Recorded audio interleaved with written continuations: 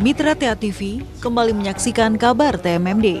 Jajaran pemerintah Desa Jatiwarno bersama sejumlah anggota kelompok kerja TMMD reguler 109 melaksanakan kegiatan koordinasi dan evaluasi di balai desa setempat. Koordinasi dilakukan untuk merencanakan dan meningkatkan kinerja dalam rangka mendukung Satgas TMMD dalam melaksanakan berbagai program yang ada di Desa Jatiwarno. Sedangkan evaluasi dilakukan terhadap beberapa kegiatan yang telah dilaksanakan selama program TMMD berlangsung dalam beberapa hari terakhir. Adapun rapat koordinasi dan evaluasi bersama tersebut diikuti sekitar 30 orang yang terdiri dari perangkat desa, Satgas TMMD, perwakilan tim penggerak PKK, dan Karang Taruna.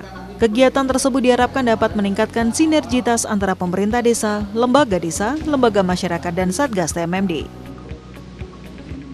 Ini kita mengadakan rapat koordinasi dengan Pokja TMMD reguler untuk mengevaluasi hal-hal yang telah kita kerjakan kemarin-kemarin dan untuk mempersiapkan kegiatan-kegiatan yang akan dilaksanakan besok dan seterusnya.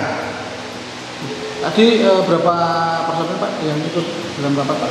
Ini tadi di antaranya kisaran 30 personil. Tim Liputan Karanganyar TA TV.